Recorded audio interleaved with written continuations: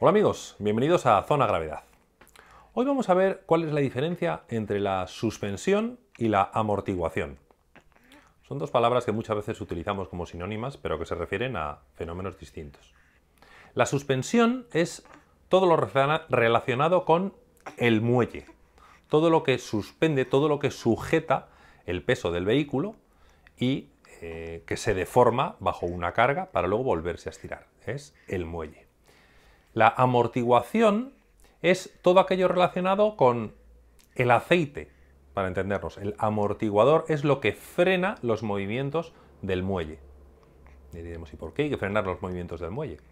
Ya hemos visto que eh, cuando nosotros tenemos un sistema eh, elástico, si nosotros lo deformamos, soltamos la, la, fuerza que genera esa deformación, el sistema vuelve a su reposo, pero además se pasa hacia la otra dirección e inicia un movimiento armónico. Si nada lo detuviese, este movimiento sería constante en el tiempo, hasta el infinito. En la práctica ya sabemos que cualquier sistema se amortigua, pero su amortiguación es muy pequeña.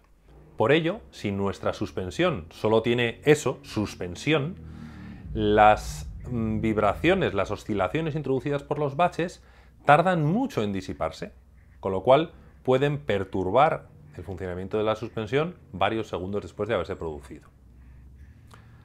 La amortiguación lo que hace es disipar esta energía contenida en los muelles de tal manera que esas oscilaciones disminuyan más rápido que la frecuencia natural del sistema.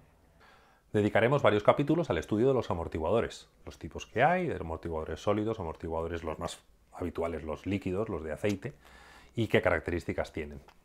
Uno podría pensar, y está bastante extendida esta idea, eh, el hecho de que si nosotros introducimos un amortiguador en una suspensión de un vehículo de inercia, en el cual ya sabemos que no tenemos motor, por lo cual la conservación de la energía es fundamental, toda la energía disipada en forma de calor por estos amortiguadores es energía que se va a perder. Y que si nosotros tuviésemos una suspensión pura y dura, solamente a base de muelles o a base de, de ballestas, no perderíamos esa energía.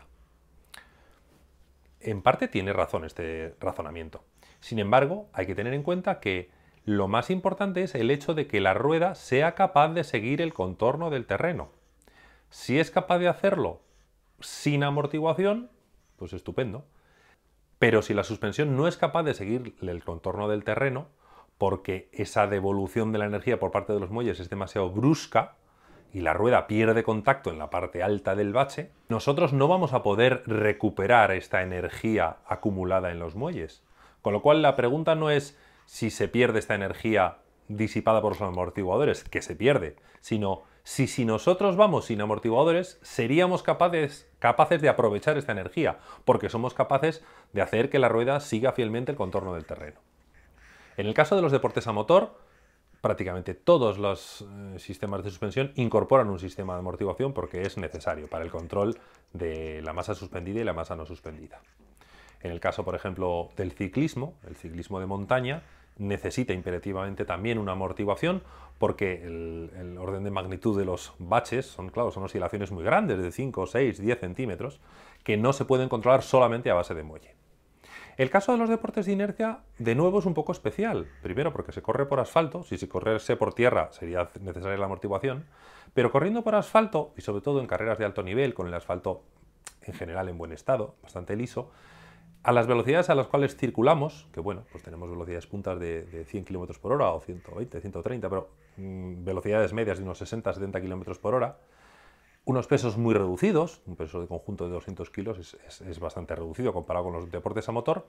Es cierto que se puede competir y se puede competir a alto nivel, incluso ganar carreras, sin amortiguación, porque en determinadas circunstancias puede prescindirse de ella. Por eso, un poco hay dos grandes familias dentro de la suspensión en los deportes de inercia, los que emplean amortiguación y los que no. Nos vemos en el próximo capítulo.